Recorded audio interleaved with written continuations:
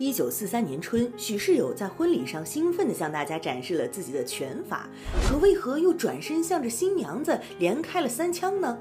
自从皖南事变后，我党胶东抗日根据地形势严峻，危急关头，毛主席派出心腹爱将许世友到了胶东军区出任司令员一职。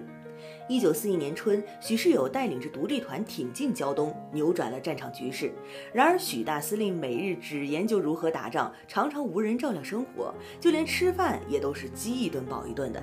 那衣服更是没有时间洗。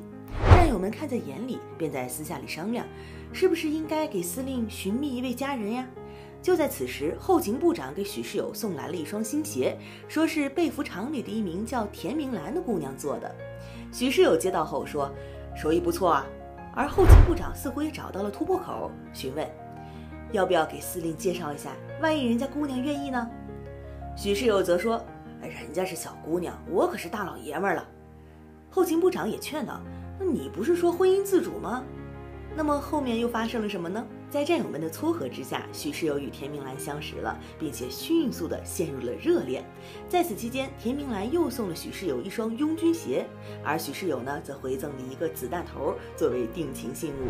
许世友浪漫地说：“这是万元保卫战时敌人打进我肩膀里的，我用刀尖抠出来的。这么多年，我一直带在身边。”而田明兰听后也十分感动，一直珍藏着。一九四三年时，在大家张罗之下，许世友与田明兰举行了婚礼。这一年，许世友三十八岁了，田明兰十九岁。这场婚礼的仪式非常简单，也只是邀请了几名战友。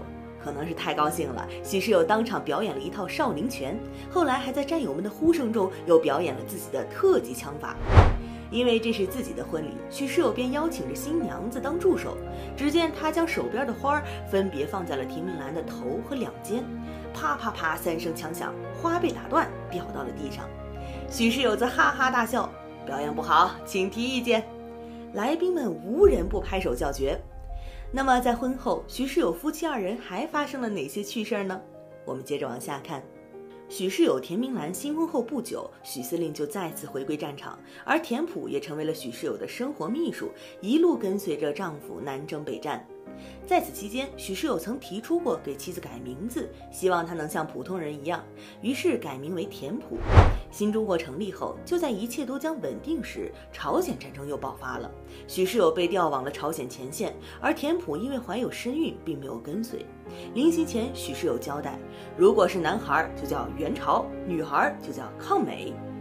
时间一晃，三年过去了，等许世友回到家中时，许元朝已经能拿着小木枪到处跑了。许世友感叹妻子为家庭的付出，曾公开感叹道：“如果有下辈子，我还娶她。”一九八五年，将军与世长辞，妻子田普按照丈夫生前遗愿，整理了大量的珍贵史料，并且汇集成了《许世友回忆录》一书。当田普回到许世友老家看望时，无意中发现他的家乡正是田浦乡。